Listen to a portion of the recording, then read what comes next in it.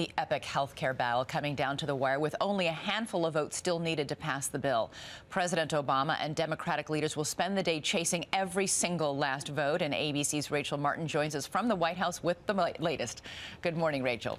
Good morning, Elizabeth. The president heads to Capitol Hill today at 3 p.m. to meet with members of the Democratic caucus. The president says he's got the momentum, but the votes aren't there yet. We are at the point where we are going to do something historic this weekend. In the past week alone, the president has held more than 60 meetings or phone calls with members of Congress, trying to finagle the 216 votes Democrats need to pass health care reform in the House.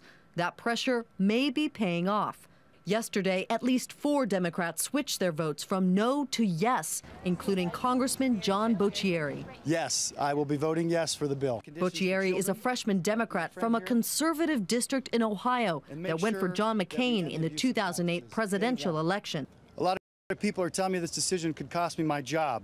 A handful of other Democrats concerned over the bill's language on abortion funding won't budge. Speaker Nancy Pelosi has made it clear she's moving on with or without them. If you don't want federal funding and you want the status quo for abortion access and you want to pass a health care bill, this is it. Pelosi says every vote is a heavy lift, and the president is looking for support wherever he can get it. Talk to your parents, talk to your friends, do not quit.